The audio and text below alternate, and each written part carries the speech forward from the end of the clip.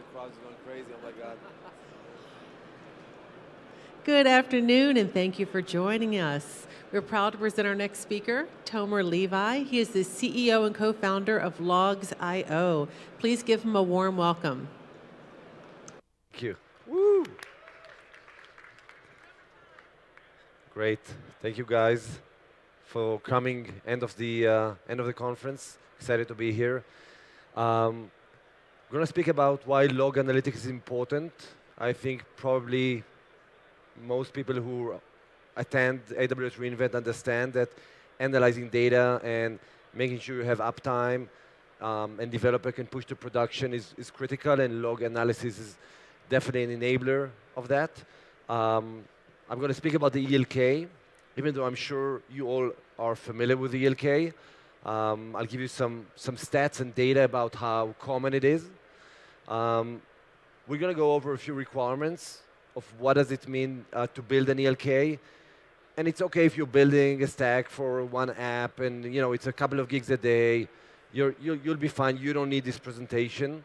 Uh, but if you want to build something which is hyperscale, which is highly available, which is secured, uh, this is where uh, we learned a lot uh, and happy to share it with you. Um, again, production grade, what does it mean and how do we make sure that uh, it doesn't fail when you actually need it?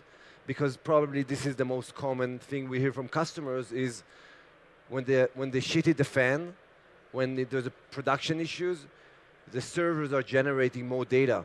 And then the first uh, thing that breaks is their uh, Elasticsearch cluster. Um, so we'll talk about that as well. Um, I'm Tomer. I'm the CEO, uh, one of the founders of Logz.io. Um, we're a log analytics company. Uh, we offer the ELK stack uh, as a cloud version, um, but really focus on making it an enterprise-grade version. So we have um, a bunch of machine learning capabilities that scan the data and find um, critical exception. They find what you should actually care about in the data. We added a lot of capabilities around alerts, about um, single sign-on, um, making sure the data is compliant, so we can have SOC 2 and HIPAA ready, and GDPR, um, global distribution. About a thousand companies use our system from uh, a uh, hundred different countries ac uh, across the globe. So in, in, in, our journey, we've been meeting so many people who are using the ELK stack, building an ELK stack, uh, use different solutions, and obviously the experience we have acquired over the last uh, couple of years, uh, building a multi-petabytes, highly scalable, highly available environment, uh, which is used by, by the way, many of the uh, um, companies uh, which, which have their booth here. So one second about logs. Every machine, every device in this room, from this watch to this TV, talks. They generate um, logs. And this is how developers troubleshoot their environment. And with log data, you can do uh, so many things. You can have, obviously, operations, production, but you can also uh, have a security, um, threat detection, as a security incident event management. You can have a product management tool by just looking at the logs. You can do IoT. Um, what we focus, and I think many of the companies here focus, is mm, first and foremost production, and then understanding security and how uh, are there any threats uh, in the logs uh, that can be discovered using a log analytics solution? Um, really, in a nutshell, about the ELK, there are many vendors, many options. Some are great. Um, the ELK is the most common log analytics platform in the world. Uh, you'll see in my next slide, there are about half a million companies using the ELK stack today. Um, it's really simple, it's open source, it's fast, um, and then the challenges, and, and we hear that all the time, oh, you know what, it's okay, it's hard to manage it, it's hard to scale it. It's, it's good when you start it, even if you do it on your own. Uh, if you take it from Amazon, it's also a good service, but it's um, very much focused for a, small use case. Uh, as you need more capabilities, when you need to connect it to your other systems, uh, when you want to rely on it in production, this is where it's sometimes harder, and this is what we're going to cover today. I'll try to give you my tips from our experience doing it. Uh, security, the data that resides in the logs can be very, very sensitive. Um, you might have user and passwords. You might have IP addresses. You might have PII. Um, you need to make sure the data is encrypted. You need to make sure that not all users can access all types of data. This is extremely important, um, and we'll touch on that as well. Um, again, this is how we look at the market. Most of the companies in the world are not using any proprietary solution for log analytics. Most of the companies are using the ELK stack. Um, let's talk about requirements. So you, you have a stack, you're using a solution, you have to make sure you cover these. Maybe not all of them are relevant. Uh, first, don't lose any logs. Okay, this might be trivial. Um, as I told you, about a thousand companies use our services for log management. When we work with them and we look at their current implementation, about one to five percent of their logs are being dropped. And the first reason is their mapping, the way Elasticsearch sets up their schema for the, their NoSQL database. It's actually a schema of, called mapping, and mapping issues uh, cause logs to be dropped. Uh, we've seen that across the board. Um, and if you look at your uh, log lines for Elasticsearch, you'll see a lot of mapping exceptions. Everyone have them. This means that you're losing data. This is number one um, requirement for a solution. So I'll, I'll, talk about how to avoid that. Uh, terabyte scale. If you keep even 100 gigs a day over 10 days, it's already a terabyte scale. Um, many companies in here ship terabytes a day. Uh, and when you replicate the data to make sure it's highly available, it becomes multi-terabytes. And if you want to protect against bursts, it's multi, multi-terabytes because you have to make sure you have overcapacity.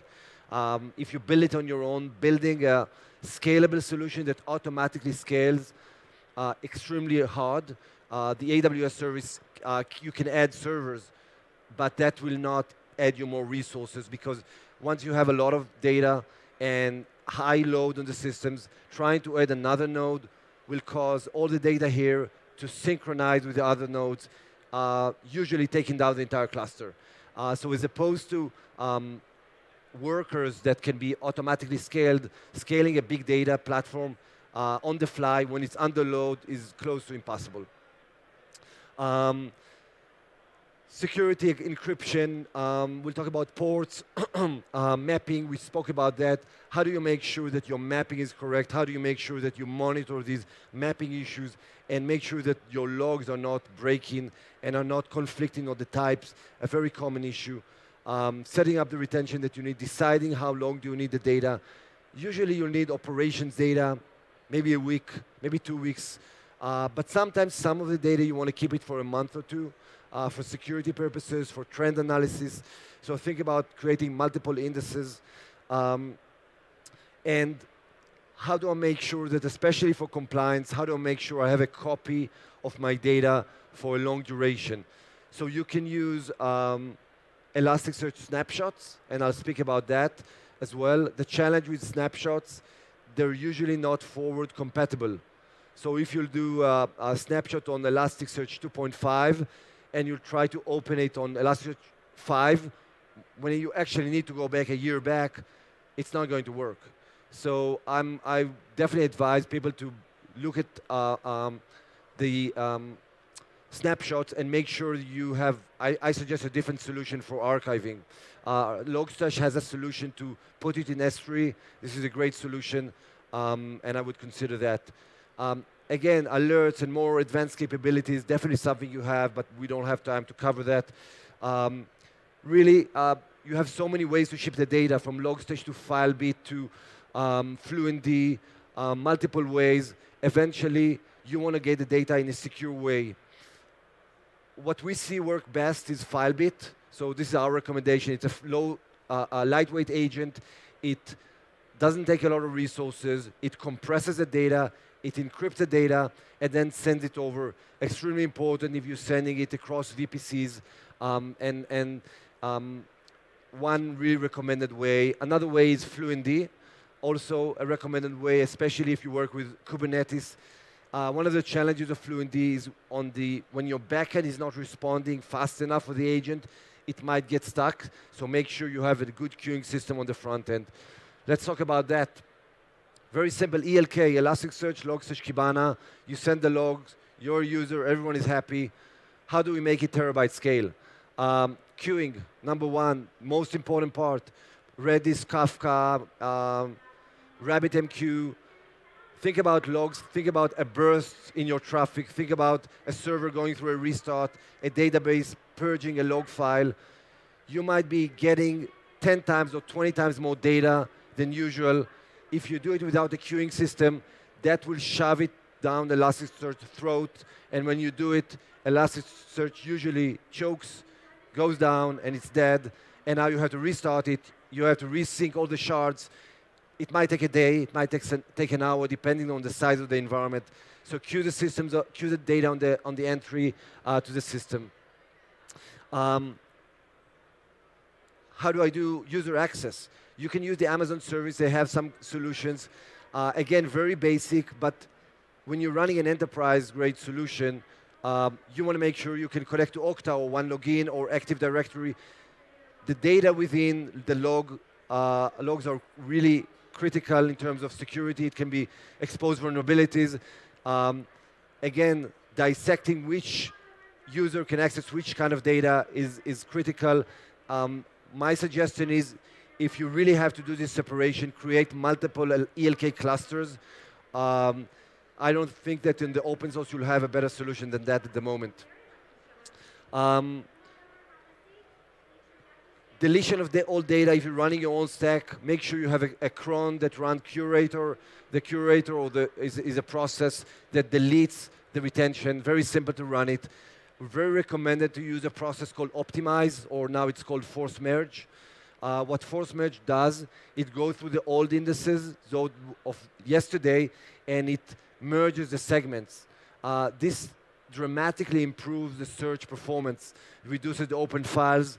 Um, again, for a terabyte scale, you must have that. Uh, you have to think about doing it uh, also puts a lot of uh, load on the machines, on the disks while you do it. So be very cautious, monitor the environment as you run the force merge across the old uh, shards. Um, multiple uh, master nodes, that's obvious. You have to have at least two availability zones if you're running on AWS. Master nodes fail. They have more and more work to do, especially if you have more mapping. Uh, something really to take into consideration people ask me how many nodes do I have to have if I want to have a terabyte of data a day. Uh, the answer is really hard. There is no silver bullet. Uh, think about the moving part. The moving part is how much do you daily ingest? What is the size of the shard you need to set up? Um, it's something you need to manage. And it really differs as you have more fields, as you have more log types, as the tables become bigger and smaller, as the machines have more memory or more storage you need to reset the, the shards, the size of the shards. Uh, I wish I could come here and say, hey, you put, put it at 25 gigs a shard. I don't have that solution. You have to test it. Uh, take one server, put four shards, five shards, load it. It's almost linearly scalable. It's not. Um, but try to find what is the optimal shard size. Uh, on our blog, you see a lot of information, a lot of benchmarks we did. Feel free to use it. It's on logz.io slash blogs. Uh, we've done a lot of work on, on trying to understand that. Uh, I'll try to speak a bit faster since we have one minute and 40 seconds left. Um, how do you make sure that you're not losing data? So again, when you push to Elasticsearch, you might get exceptions. If you're pushing through Logstash, these exceptions go to waste and you don't really know that you lost data. 1 to 5% of the data in your environment is currently being dropped. Uh, you can check that, go to your environment, test it. Um, you can put some kind of a process that looks at the exceptions, collect all the logs, collect all the failures, and try to understand which mapping, for example, is broken. I'll give you an example. You have an integer and a string, and sometimes if the first log of the day when the mapping was created was an integer, and then it becomes a string, Elasticsearch cannot understand. It said, oh, that field is, a, is, a, is an integer, but I'm seeing a string. How can I fit it together? So what Elasticsearch will do is drop all the data and say, okay, mapping mismatch, sorry, guys, goodbye. Uh, developing on your own something to resolve mapping issues is extremely hard. We've done that with a process that you can try to implement. We basically look at all these exceptions. We go back to the, we grab the logs that failed, we fix the mapping. Sometimes we flatten the logs uh, to make sure we remove some of the fields or put them in a, in a, in a non-schema uh, fields and add them back to the system and then help the customer understand that. But just bear in mind uh, uh, that you might have that. Um, some more tips. I have 10 last seconds. 15 minutes might not be enough for Logz.io. I'm going to be here outside. You're welcome to uh, speak to me. Uh, this is our infrastructure. It's going to be online. Look at our blog. There is an ELK uh, Slack channel. Just about 200 ELK professionals speaking about issues, Elasticsearch and other we're there, we're helping and trying to add more content. Uh, feel free to jump on this Slack message. Just look for ELK professionals on our website. Uh, this is me. Um, thank you very much, guys.